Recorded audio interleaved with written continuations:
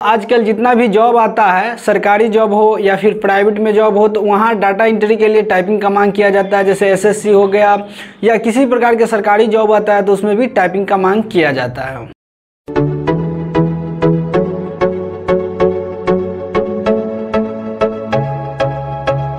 जय हिंद, मैं सुजीत आपके अपने यूट्यूब चैनल कंप्यूटर वाला में आपका स्वागत करता हूँ। दोस्तों, आज के इस वीडियो में हम लोग जानेंगे टाइपिंग के बारे में। टाइपिंग होता क्या है?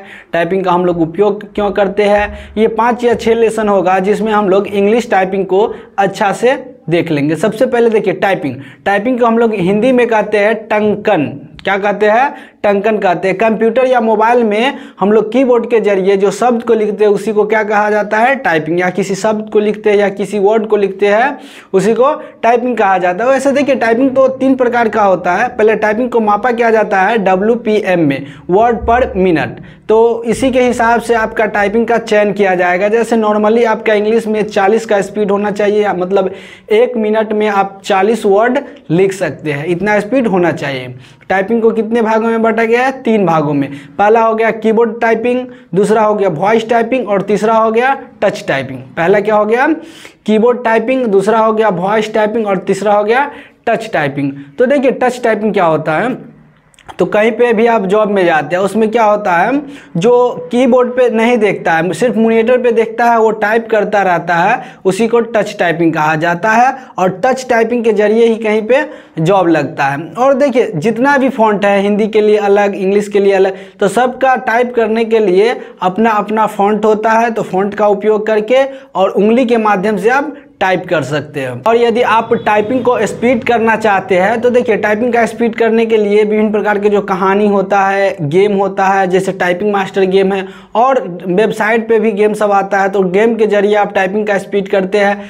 और टाइपिंग को आपको स्पीड करने के लिए रोज़ाना कम से कम एक घंटा है, जो आपको प्रैक्टिस करना होगा। कम से कम तो रोज़ाना एक घंटा, बस तीन महीना तक आप कीजिए। वैसे टाइपिंग कोर्स का भी तीन महीना का होता है।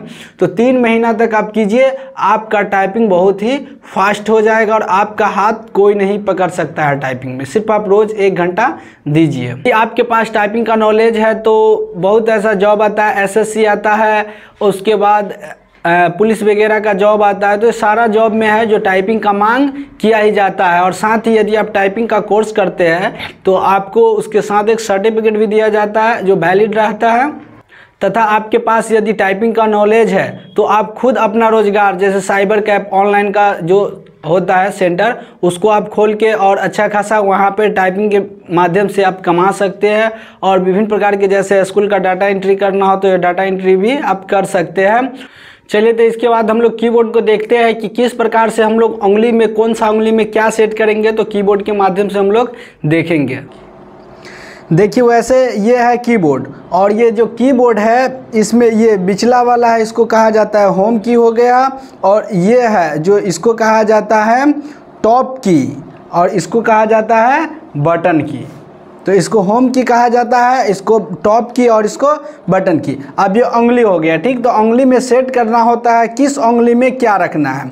तो ये कनगुड़िया जो है, इसमें है जो क्या रखना है? ए रखना है। इसमें क्या रखना है? एस एस इसमें और इसमें डी और इसमें एफ़। तो इसमें हम ए रख दिए, इसमें ए, एस, डी, एफ़। ये हो गया। और देखिए, यहाँ पे ये उभरा हुआ है। इसमें देखिए, जो एफ़ में है, हल्का उभरा हुआ है। तो यहाँ पे ये उभरा हुआ रहता है इसको रखने के लिए। और देखिए, ये है तो इसका जो है, ये कनगुड़िया वाला है, इसमें क्या रखते हैं? ये कॉलून का सिंबल और इसमें एल रखते हैं, इसमें एल रखते हैं और ये मिडिल वाला है, इसमें क्या रखते हैं? जे नहीं, इसमें के रखते हैं और इसमें जे रखते हैं। अब देखिए, ये दोनों है जो फिंगर है, ये फिंगर है जो यहाँ पे देखिए, ये उभरा हुआ है, एक है एफ़ पे और एक है जो क्या चीज़ पे? जे पे। एफ़ पे और जे पे है, इस प्रकार से। अब देखिए, इसमें जो है इसमें ए ये है ए तो इसमें ए एस डी और एफ़ उसके बाद A S D F A S D F और ये है, देखिए जे के इसमें एल और इसमें कॉलून इसमें जे के एल कॉलून। और देखिए, जो टाइपिंग करते हैं तो मन में आपको बोलना ही पड़ेगा। बोलिएगा तो इसके माध्यम से आपका माइंड के माध्यम से उंगली में सेट होता जाएगा। तो ये इसमें हो गया ए, एस, डी, एफ़ और इसमें हो गया जे, के, एल और उसके बाद ये कॉलून। अब ये है जो दोनों है, ये बटन है जो स्पेस पे। किस पे है? स्पेस पे। अगर स्पेस देना है तो स्पेस बटन का उपयोग कीजिए। ये स्पेस बटन का उपयोग कीजिए। सबसे बड़ा की होता है। अब देखिए होम की के माध्यम से हम लोग कुछ वर्ड पहले तो इसको आपको प्रैक्टिस 40-50 बार करना होगा। ए एस डी एफ़ ऐसे बोलना भी है और टाइप भी करना है। जैसे जे के एल कलून ए एस उसके बाद यहाँ पे डी एफ़ और इसमें इसमें एच देखिए, ये वाला है फिंगर इसमें दोनों चीज़ है। एफ़ भी है और एच भी है। एफ़ भी है और सॉरी एफ़ भी है और जी भी है। एफ़ जी दोनों है। इसमें दोनों। और इसमें देखिए, इसमें, और किसी भी बटन को टाइप करने के बाद फिर इसका निश्चित स्थान पर जैसे इसको टाइप किया तब इस पर नहीं रखना है, इस पर फिर से आ जाना है। और ये जो के है के यहाँ पे ये जे हो गया और यहाँ पे एच हो गया जे और एच ये दोनों में ये है। तो अब देखिए, ये है जो टाइप कर दिए एच तो इसका मतलब इस पर नहीं रखना है। फिर से ये इसका होम की का जो मेन पे है, उस पर आ जाना है। अब इसमें देखिए, पहले आपको प्रैक्टिस करना होगा A S D F A S D F और उसके बाद H A S D F H A S D F H इस प्रकार से कर लेना। फिर इसमें इससे है तो कलून हो गया, क्या हो गया, इसमें देखिए, कलून हो गया एल हो गया, और के हो गया, और जे हो गया, और एच तब इसमें एच एच जे के एल कलून एच जे के एल कलून। तो इस प्रकार से आपको पहले तो आपको कितना बार, पचास बार इसको रिवीजन करना है, और उसके बाद रिवीजन करने के बाद आपको जो वर्ड देते हैं, उसको आप लिखना होगा। करीब पंद्रह वर्ड देते हैं। उसमें आप टाइप कीजिएगा और टाइप करने के बाद आपका जो टाइपिंग है, जो होम की पे प्रैक्टिस हो जाएगा। तो आज पहला दिन आप लोग होम की का प्रैक्टिस कीजिएगा।